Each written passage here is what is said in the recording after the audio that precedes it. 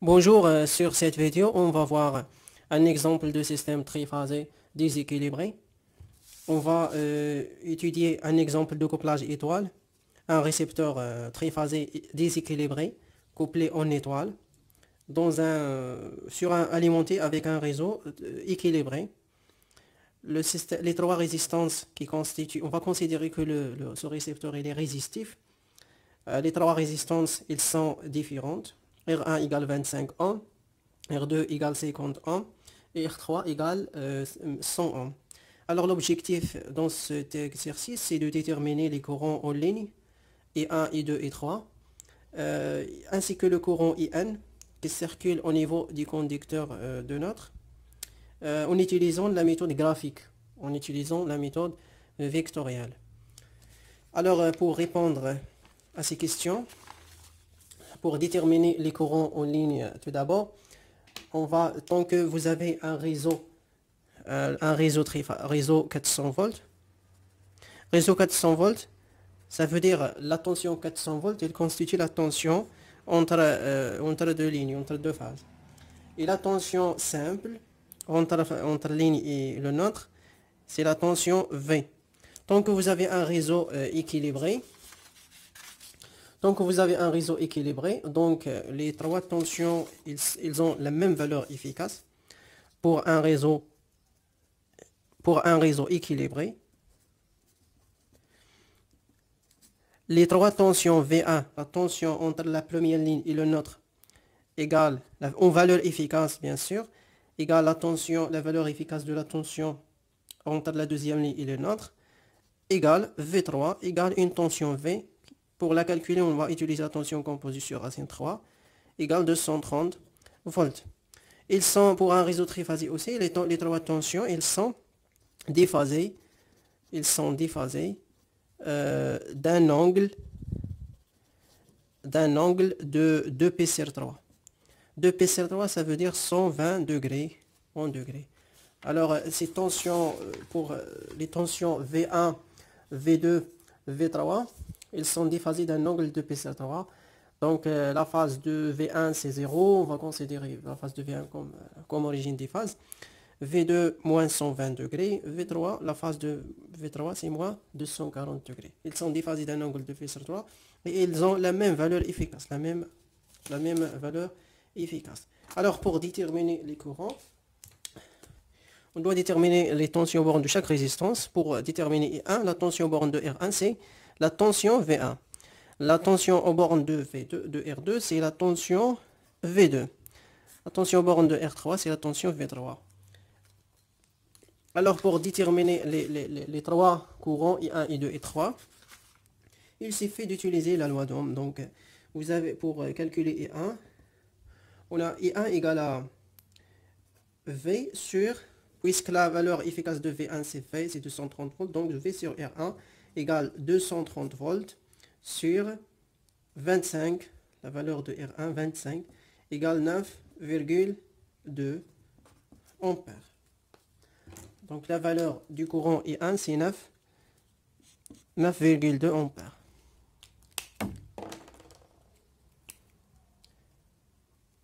La valeur du courant I2, c'est V sur R2, égale 230 sur 50, la valeur de R2, euh, sur 50 égale 4,6 ampères. En valeur efficace, bien sûr. Pour le, courant étroit, égal à V sur R3 égale 230 sur 100 ohms. La valeur de R3, donc égale 2,3 ampères. 2,3 ampères en valeur efficace. Euh, dans le schéma, ici, euh, j'ai utilisé les, minuscules E1, E2, E3, V1, V2, des, minuscules pour désigner les, valeurs instantanées. Et pour les valeurs majuscules, désigne les valeurs efficaces. Alors, pour déterminer, ça c'est la première, ça c'est la première question. La deuxième question, pour calculer le courant qui circule au, niveau du conducteur de notre. Bien sûr, d'après le schéma, vous avez I1 égale à I1 plus I2 plus I3, la somme des trois courants, le courant qui circule dans le nôtre. Donc vous avez IN égale à I1 plus I2 plus I3. J'ai utilisé les minuscules pour désigner les valeurs instantanées. Ça veut dire euh, à chaque instant. Et non pas les valeurs efficaces. On n'effectue jamais la somme des valeurs efficaces, puis euh, parce que tout simplement les, les trois courants, ils sont déphasés. Ils sont déphasés. Donc pour déterminer le courant dans le neutre, au niveau du conducteur de neutre, soit on utilise, soit on utilise la méthode vectorielle, la méthode la plus simple parce qu'il est difficile normalement de déterminer euh, euh, directement la valeur de IN, la valeur instantanée. C'est pour cela qu'on utilise des méthodes plus simples qui est la méthode vectorielle. Ça veut dire on trace le vecteur de IN. Bien sûr, en effectuant la somme des, des trois vecteurs I1 plus I2 vecteurs plus I3 vecteurs. Et les trois vecteurs I1, I2 et 3 représentent les, les courants I1, I2 et 3. Ça, c'est la méthode vectorielle. La méthode vectorielle, c'est une méthode graphique Soit on utilise la méthode, la méthode des nombres complexes. Ça veut dire on va déterminer le courant, le, nombre complexe n qui est égal au nombre complexe I1 qui représente le courant I1 plus le nombre complexe I2 qui représente le courant I, 2 plus le nombre complexe I3 qui représente le courant I3. Alors, soit ça, ça s'appelle la méthode euh, du nombre, méthode des nombres complexes la méthode des nombres complexes. Alors, dans cet exercice, on va euh, s'intéresser à la méthode vectorielle. On va utiliser seulement la méthode vectorielle. Alors, pour tracer les vecteurs, le vecteur de n'importe quel courant, normalement, pour tracer par exemple le vecteur euh, d'un courant I, j'ai besoin de deux paramètres. Le premier paramètre, c'est la valeur efficace. Le deuxième paramètre, c'est la phase. Donc, pour tracer un vecteur, j'ai besoin de déterminer deux choses. Donc, j'ai besoin de déterminer la valeur, sa valeur efficace en ampères, pour tracer un courant par exemple, euh, et j'ai besoin de déterminer la phase. La phase euh, du, euh, ça veut dire l'angle entre l'origine et la phase et le, courant I1, le vecteur I1. Alors pour, dans ce cas, dans ce cas pour tracer le courant I1, pour tracer le courant I1, j'ai besoin de sa valeur efficace qu'on a déjà calculé ici. la valeur efficace de I1, c'est 9,2 ampères. La phase phi1 de ce courant, c'est quoi? Tout simplement parce que, tout simplement égal 0, parce qu'il est en phase avec V1. Et la phase de V1, c'est la phase de V1, c'est 0. On va considérer le V1, c'est comme origine des phases. Parce que V1 égale la racine de 2, V sinus oméga t plus 0. Donc la phase de V1 c'est 0. Tout simplement parce que I1, il est en phase avec V1. Il n'y a pas de déphasage entre la tension et le courant dans une résistance. Même chose pour le, deuxième courant I2. Il sera en phase avec V2. Même chose pour I3. Il sera en phase avec V3. Donc ces conditions, bien sûr, déterminent directement les phases des trois courants euh, et les valeurs efficaces, on a déjà déterminé les valeurs efficaces. Donc E2, euh, il a pour valeur efficace E2 égale 4,6 ampères. Et la phase, c'est la phase phi 2, c'est moins 120 degrés. Moins 120.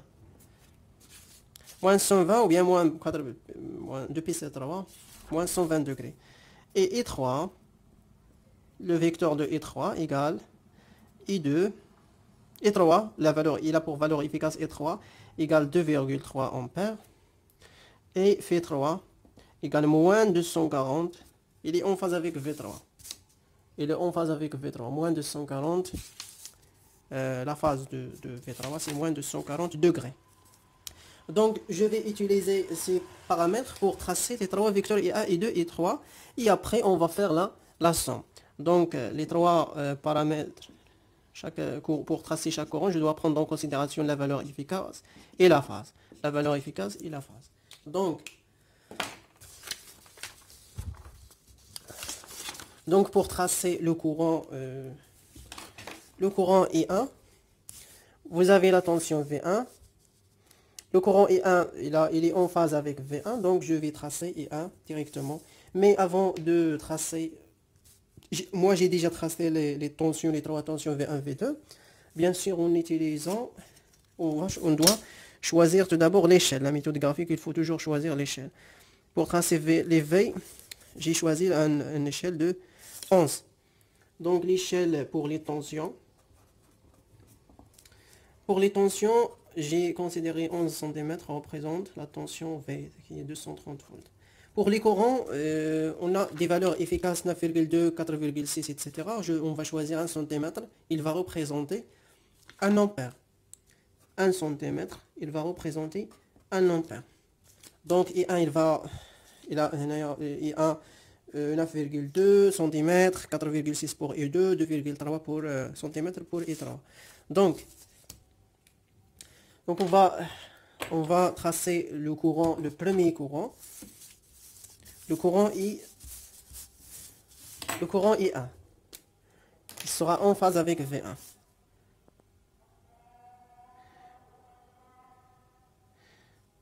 Donc I, euh, I1, 9,2. Voilà. Donc ça c'est le courant I1. Le deuxième courant, I2, euh, il sera en phase avec V2. Sera en phase avec V2, donc I2, il a pour valeur efficace 4,6 ampères, donc 4,6 euh, cm. 4,5, 4,6. Donc ça c'est I2. Et 3, il a pour valeur efficace 2,3. 2,3 donc 2,3 cm. Donc 2,3.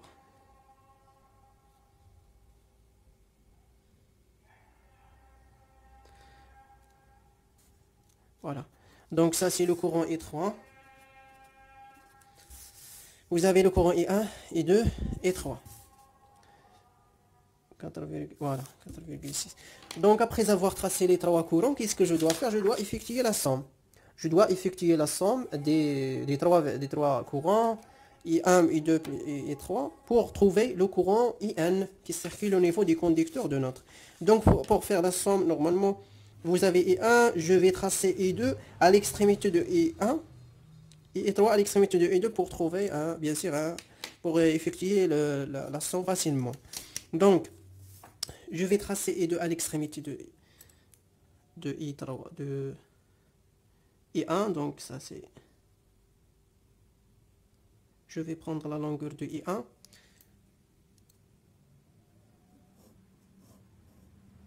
Et la longueur de I2.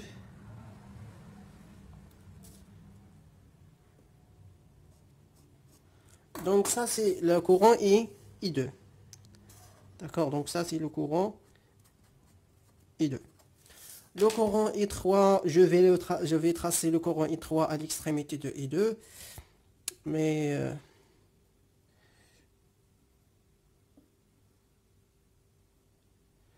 ça c'est...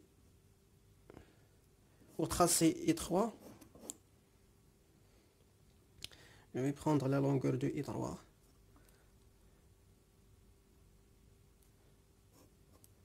Donc ça c'est le courant étroit, d'accord? Donc ça c'est le courant. Le courant étroit.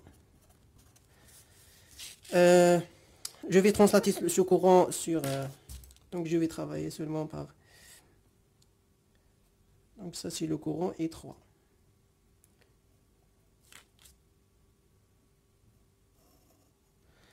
Je vais prendre la longueur de I2. 4,6 cm. Donc, finalement, on va trouver le courant étroit. Ça, c'est le courant étroit. Donc, vous avez I1 plus I2 plus I3. La somme des trois courants, on va trouver la somme directement. Ça, c'est la somme. Ça, c'est le courant euh, d'une autre. IN.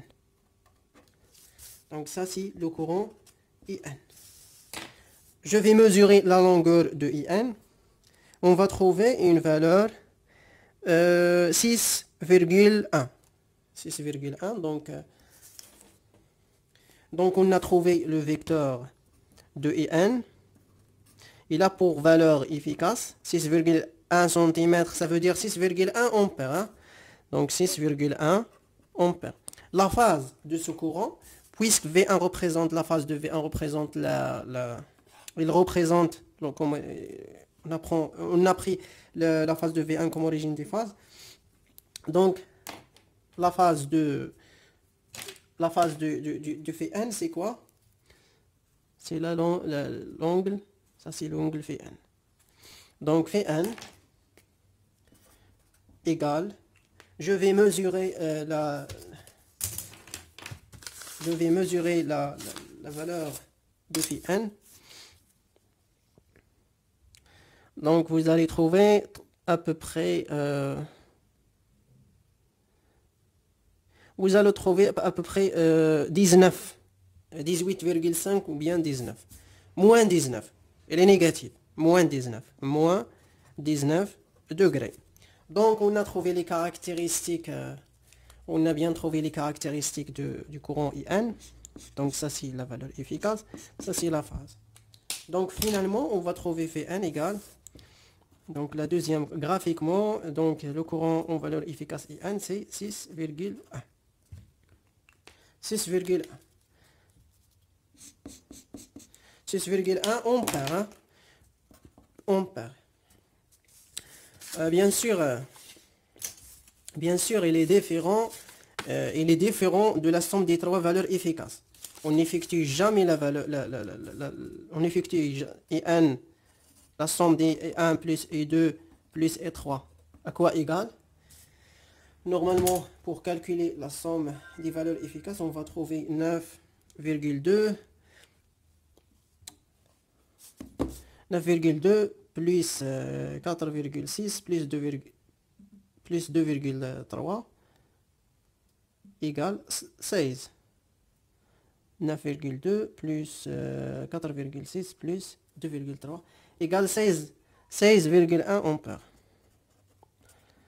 Donc il est différent, la valeur est différente de la valeur IN.